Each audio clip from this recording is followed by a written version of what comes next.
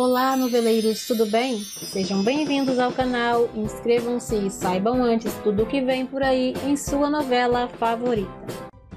Vamos ver agora o que vai acontecer na novela Órfãos da Terra, hoje, quinta-feira, 29 de agosto. A chegada da mãe de Salma, Mágida, fará a vida de muita gente um pesadelo, a começar por Aline e Caetano. A família do mecânico havia se apegado à menina e agora Dalila trouxe Magda ao Brasil como parte de seu plano para destruir Jamil. A vida do casal principal da novela vai se transformar com as novas notícias. Magda chega acusando Jamil pela morte do marido Salim e Laila fica contra o marido por achar que ele mentiu para ela. Era tudo o que Dalila queria. Este homem é um assassino. Jamil matou Salim, meu marido.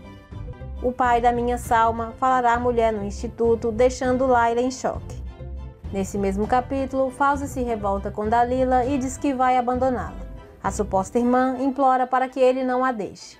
Missade e Padre Zohan têm uma breve conversa. Ele pergunta se ela vai voltar com Elias e a mãe de Laila diz que não consegue mais acreditar no marido. Padre Zohan diz a Missade que espera que a amizade deles continue. O religioso está sem graça e arrependido desde que se declarou a ela. Nos próximos capítulos, Dalila vai mudar o visual. De cabelos pretos e mais curtos, a vilã se transformará para não ser reconhecida após Almeidinha conseguir prova de seus crimes. Dalila fugirá do delegado na reta final de Órfãos da Terra. Para saber mais sobre sua novela, clique em um dos links que aparecerá na tela. Beijos e até o próximo vídeo. Quer saber tudo sobre sua novela? Basta clicar em gostei. Fazendo isso, o YouTube lhe avisa todas as vezes que houver um vídeo novo.